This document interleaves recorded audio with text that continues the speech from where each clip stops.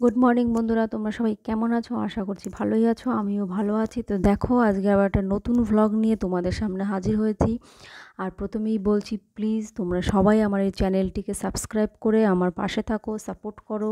সবাই সবাইকে সাপোর্ট করলেই তাহলেই একে মানে বড় হওয়া যায়। একে অপরকে সাপোর্ট করলে সবাই বড় হতে পারবে। তো প্লিজ সবাই একটু লাইক কমেন্ট শেয়ার আর সাবস্ক্রাইব করো। তো দেখো, সকালবেলা উঠেই আমি দেখাচ্ছি আমার সমস্ত কিছু অগোছালো। বিছানা থেকে শুরু করে রান্নাঘর থেকে শুরু করে সব কিছু তো দেখতেই পাচ্ছ তোমরা, আজকে আমার উঠতে উঠতে সাতটা বেজে গেছে, যার কারণে আমার সমস্ত কাজ ঘেটে ঘ হয়ে গেছে। তো দেখো রান্নাঘরে পাহাড় প্রমাণ, বাসন পড়ে রয়েছে, রান্নার সমস্ত কিছু। কিন্তু এগুলি গুছানোর আগে মানে গুছানোর আগে একটু রান্নাটা বসিয়ে নিই। কেননা আবার দেড়টার মধ্যে আমার বরবাবুর খাবার দিয়ে আসতে হবে। তো দেখো, জানি না যে তোমাদের সঙ্গে কতটুকু শেয়ার করতে পারব। দেখা যাক। তো দেখো, সকালবেলা আমি আগে রান্নাটা বসিয়ে নিচ্ছি। আজকে আমার চা খাওয়ারও সময় হবে না। এখন আমি পুঁই শাক আলু, কুমড়ো একটা নিরামিষ তরকারি আর কি বসাবো। পাঁচফোড়ন আর শুকনো লঙ্কা ফোড়ন দিয়ে দিয়েছি।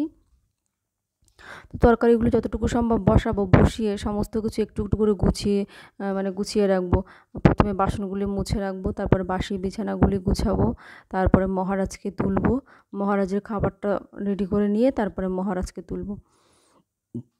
তারপরে সোফায়, বারান্দায় সোফায় জামা কাপড় টাপড় যা অগোছালো আছে সব গোছাবো।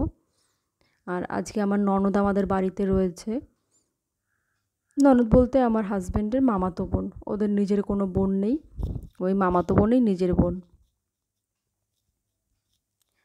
ও আসে না, থাকে না, কিন্তু কালকে ওর কি মনে হয়েছে, ও রয়েছে। সবসময় ওকে বলা হয়, কিন্তু ও থাকে না। যাক, আমি তরকারিটা বসিয়ে দিয়ে বাদবাকি কাজগুলি একটু সেরে নিই। এগুলি হতে থাকুক। তার আগে এই পাহাড় প্রমাণ জামা কাপড়গুলো আমি ছাদে মেলে দিয়ে আসি। কাচার পরে এগুলো হয়েছে। ওগুলি ছাদ থেকে মেলে দিয়ে এসে বাসনগুলি মুছতে বসলাম। আর আমি প্রত্যেক দিনই সমস্ত বাসন ধোয়ার পরে সেগুলোকে মুছে গুছিয়ে রেখে দিই। মানে কোনো বাসনের ঝুড়ির মধ্যে রাখি না। গুছিয়ে সাজিয়ে রেখে দিই। তাহলে আমার মনে হয় আমার হাতের কাছে বাসন খুঁজে পেতে সুবিধা হয়।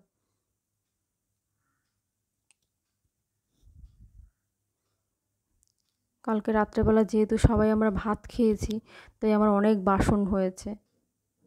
অন্যান্য দিন ওর যেহেতু আমার বরবাবু রুটি খায়, মহারাজ ওটস খায়, আর তাড়াতাড়ি আমার কাজগুলো একটু মানে এগারোটার মধ্যে সব হয়ে যায়, যার কারণে অনেকটা গোছানো থাকে।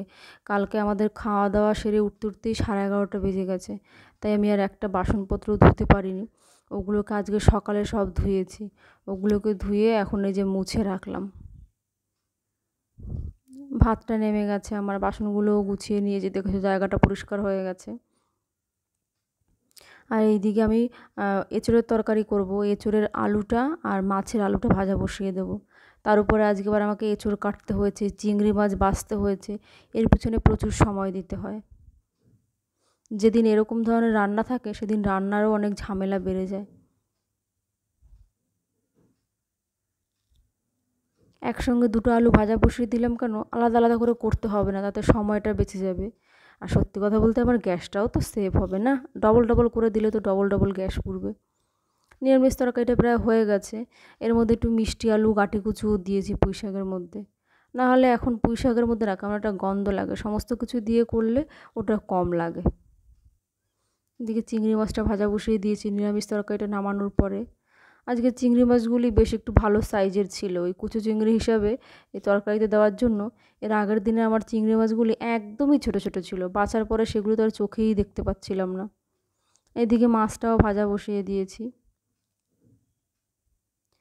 এঁচোড়টা বসিয়ে দেওয়ার জন্য সমস্ত কিছু মশলা কষিয়ে, এঁচোড়, আলু এখন কষিয়ে নিচ্ছি। একসঙ্গে চিংড়ি মাছটাও দিয়ে দিচ্ছি। যাক, এই তরকারিটা সমস্ত মশলা কষিয়ে জল দিয়ে দিয়েছি আর এদিকে মাছটা ভাজা হচ্ছে। মাছের মধ্যেও আমি মানে মশলা কষিয়ে জল দিয়ে দিলাম। এখন রান্নাগুলো রান্নার মতন হতে থাকুক। আর এইদিকে এই যে দেখুন, মহারাজ তার কি অবস্থা? স্নান টান করে তাকে বসিয়ে দিয়েছি এই দিকে এই হাল। আজকে একটু ল্যাথ খেয়ে বেশিই আছে। গান চালিয়ে দিয়েছি, তাও অন্যান্য দিন স্নান করে বসিয়ে দিলে এরকম করে না।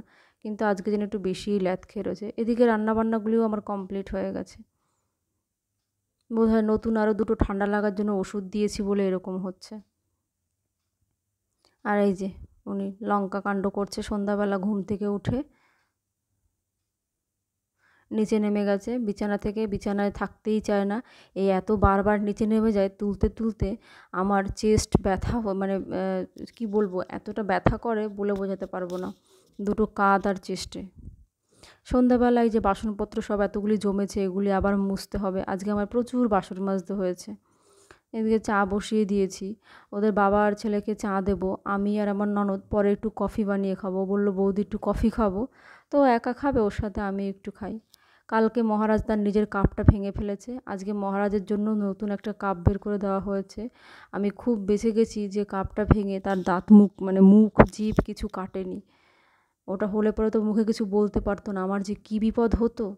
যাক, এদিকে আমার চায়ের জলটাও ফুটে গেছে। এবার চাটা নামিয়ে নেব। এই যে, সাথে একটা বাউলে নিয়েছি, যদি উনি খান। দিলে পরে একটু চিবায় বাদ বাকিটা আমার পেটেই যাবে। যাক, আজকের ব্লগটা আমি এখানেই শেষ করব। সবাই ভালো থেকো। পরে, ও, না, একটু হাঁটিয়ে নেব এই ব্লগটা মানে এই চাটা খাওয়ার পরে। এটা হাঁটিয়ে নিয়ে তারপর আর তোমাদের সঙ্গে অন্য কিছু শেয়ার করব না। কারণ এই সন্ধ্যার পরে ওকে আমি হাঁটাই তো তো অন্যদিন তোমাদেরকে আমি দেখাতে পারি না, তো আজকে তোমাদের সঙ্গে একটু হাঁটানোটা শেয়ার করব। যেহেতু আজকে আমার ননদ আছে, ওকে বলেছি একটু ফোনটা ধরে একটু ভিডিওটা করে দেয় তাই ও একটু ভিডিওটা করে দিল। এভাবে প্রত্যেক দিন সন্ধ্যার পরে আমি একটু ধরে ধরে হাঁটাই। এখন আর বাইরে নিয়ে যেতে পারি না। আগে তোমরা অনেক ভিডিওতে দেখেছ যে ওকে আমি বাইরে নিয়ে গিয়ে হাঁটাতাম ওয়ার্কার দিয়ে। কিন্তু এখন আর আমি পারি না। ও যেহেতু পুরো বডি ওয়েটটা আমার হাতের উপরে দিয়ে দেয়, আমার প্রচণ্ড হাতে যন্ত্রণা হয়। তাই আর বাইরে নিয়ে গিয়ে ঘরে তোলাও আমার খুব কষ্ট হয়ে যায়, পারি না বলে ঘরের মধ্যেই এখন হাঁটাই। যেটুখানি হয় দশ মিনিট, পনেরো মিনিট ওইভাবেই করছি। যা চেষ্টা করে যাই, যা হবার হবে। আর প্লিজ আজকের ব্লগটা আমি এখানেই শেষ করব। সবাই ভালো থেকো, একটু পরের ব্লগে দেখাবে। প্লিজ সবাই একটু সাবস্ক্রাইব করো।